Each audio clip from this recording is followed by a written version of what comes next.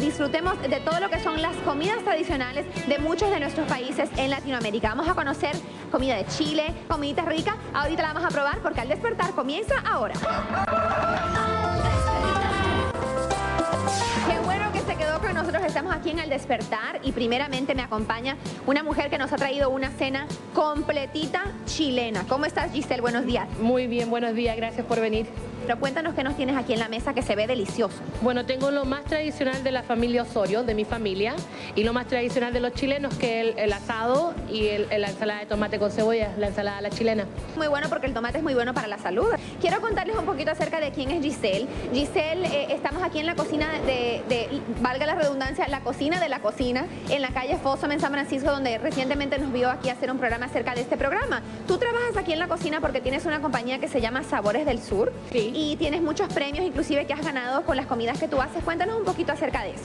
Bueno, yo tengo aquí, eh, voy, van a ser tres años, soy una de las primeras que entró al, programa, gracias a Dios, y hago comida típica sudamericana, no solamente chilena, hago mucha comida peruana, o un, poco de todo lo de Sudamérica, más que nada. Hago, tengo una compañía de catering y los alfajores que gracias a Dios les ha ido muy bien y los tengo en 16 stores, eh, tiendas eh, inclusive Giselle tiene una placa fuera en el pasillo si ustedes eh, tienen la oportunidad de visitar porque se ha ganado muchos premios y muchas menciones por todo esto que nos menciona de varios países de Sudamérica. Entonces vámonos directo aquí al grano. Yo quiero que nos cuentes un poquito acerca de cómo preparas esta carne. ¿Es, ¿Es fácil de hacer? Es muy fácil. En Chile el asado típico es con carbón y carbón de leña. Eh, ¿Se puede hacer en la casa con carbón? Lo hacen en el patio. Entonces tú cuando vas caminando por la, noche de Año Nuevo por donde camines, está ese olor riquísimo que ya te empieza el hambre de temprano. Cenamos como las 10 de la noche, 11.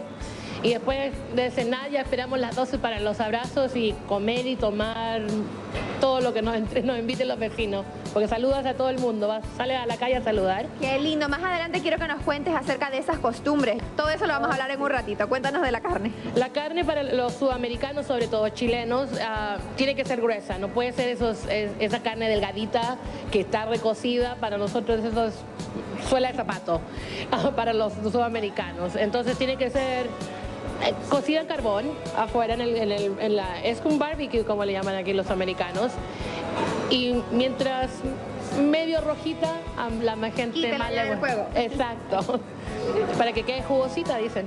¿Qué tipo de sazón tiene por encima? Porque veo aquí que has echado como un poquito de, me imagino, sal y pimienta, no sé si otras especias. En Chile no usamos mucho la pimienta, pero usamos sal y para el asado casi siempre se usa sal de mar. Entonces, y ajos a veces lo sientan en ajo, pero el asado chileno muy típico, ponerlo a la parrilla. Sencillo. Sencillito. Con buena carne, un buen sabor, con eso nos vamos a comerciales, pero quédese con más porque venimos con esto y muchísima comida riquísima esta mañana. Venimos ya.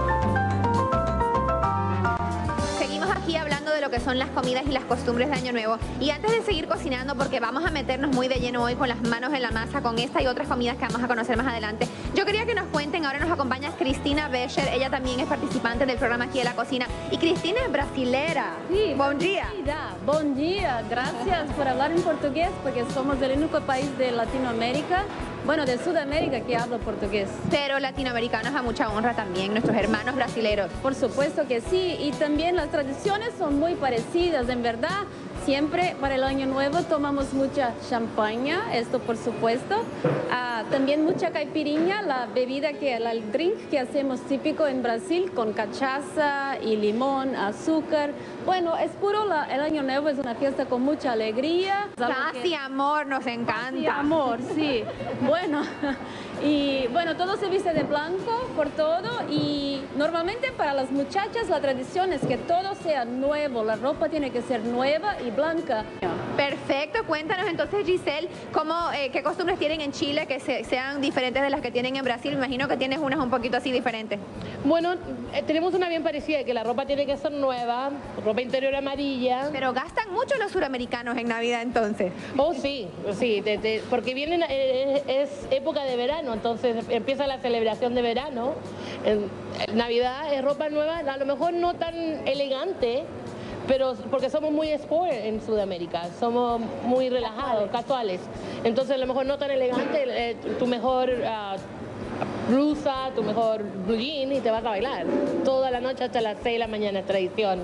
Y la playa el día siguiente toda la mañana porque hay que descansar después de haber bailado tanto. Porque mientras aquí nos morimos de frío, en los países como en Brasil y como en Chile y Argentina están en pleno verano porque como saben están en el hemisferio sur, así que es completamente opuesta la, la- la estación. O sea, que, que envidia. eh. Debería uno como de viajar para allá en Navidad. Sí, pero aquí hay mucho trabajo en esta época, así que no se puede. Y aquí estamos trabajando arduamente. Gracias, Cristina. Y gracias, eh, Giselle. Vamos a regresar en un momentito cocinando con muchísimo más con Giselle.